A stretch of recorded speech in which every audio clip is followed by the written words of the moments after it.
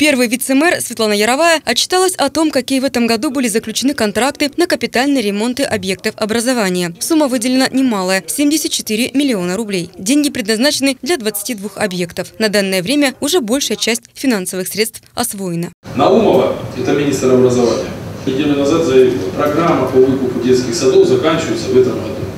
И деньги по окончании финансового года на сегодняшний день мы 166, если не память